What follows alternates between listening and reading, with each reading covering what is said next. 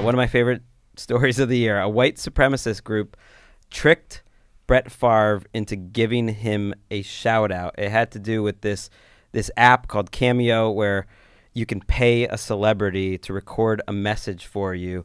And this group, uh, who calls itself the GDL, the Goyim Defense League, has done this with a few different celebrities. They essentially paid and tricked Brett Favre into spreading their propaganda. Uh, Greg, what's the exact? Yeah, what did- the, the Brett been taken down. Yeah. But people saw the video before it was taken down, and uh, this is what he said. Brett Favre here with a shout out to the Handsome Truth and the GDL boys. You guys are patriots in my eyes, so keep waking them up and don't let the shlomos get you down. Keep fighting too, and don't ever forget the USS Liberty and the men and women who died on that day.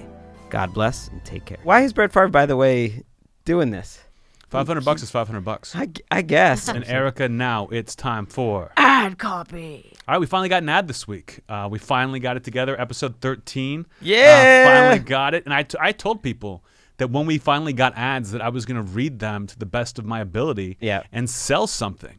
Anthony Jeselnik here with a shout out to the Handsome Truth and the GDL boys. You guys are patriots in my eyes, so keep waking them up and don't let the shlomos get you down.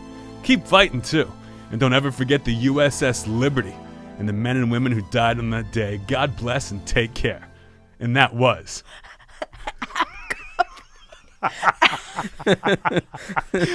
and that was. Ad copy.